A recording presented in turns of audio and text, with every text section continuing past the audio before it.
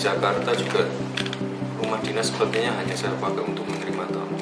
Saya di rumah sendiri.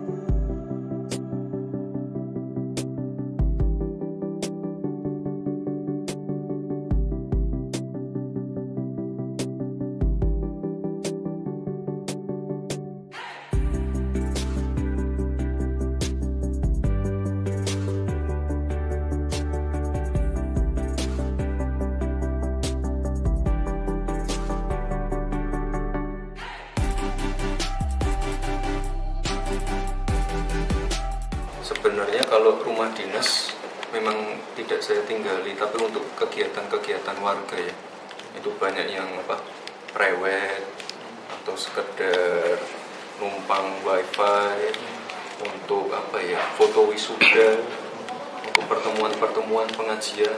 Kalau saya sendiri tidurnya masih di rumah pribadi. itu Tapi nanti di Jakarta juga rumah dinas sepertinya hanya saya pakai untuk menerima tamu. Saya di rumah sendiri aja. pertimbangannya kenapa sih mas kok seperti itu Nggak ada pertimbangan apa-apa, kebiasaan aja. Wong dari rumah ke balai kota juga dekat. Ya. Gitu. ya lebih nyaman di rumah sendiri lah. Nggak harus packing-packing lagi. Ya. Karena anaknya juga masih kecil juga ya mas. Hmm? Anak-anak masih kecil juga lebih nyaman di rumah ya. Ya kalau anak-anak cepat menyesuaikan sih, Mbak. gampang. Yang jelas rumah dinas biar nanti apa untuk menerima tamu saja ya. Kalau rumah pribadi kan kecil jadi nggak bisa menerima tamu. Mas Gibran kan uh, Terakhir. IKN juga ada ada IKN kan ada rumah dinas. Ya, ya, ya. Nanti gimana Mas dipakai atau ribut? Ya pasti kita manfaatkan untuk apa eh, kegiatan warga juga sama seperti di sini. Nanti saya akan lebih banyak apa muter-muter di seluruh Indonesia. Saya lagi untuk belajar masalah, menyelesaikan masalah-masalah yang ada, terutama di area wilayah 3T.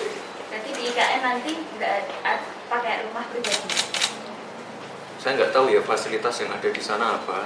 Yang jelas pembangunan IKN akan kita kawal bersama Pak Presiden terpilih untuk urusan rumah dinas dan lain-lain itu urusan gampang. Saya bisa tidur di mana aja. Di antara banyak sumber informasi, kami layak dipercaya. Karena kami menggali lebih dalam, berpihak pada kebenaran, berpegang pada data dan fakta, agar layak Anda jadikan referensi. Kompas TV, independen, terpercaya.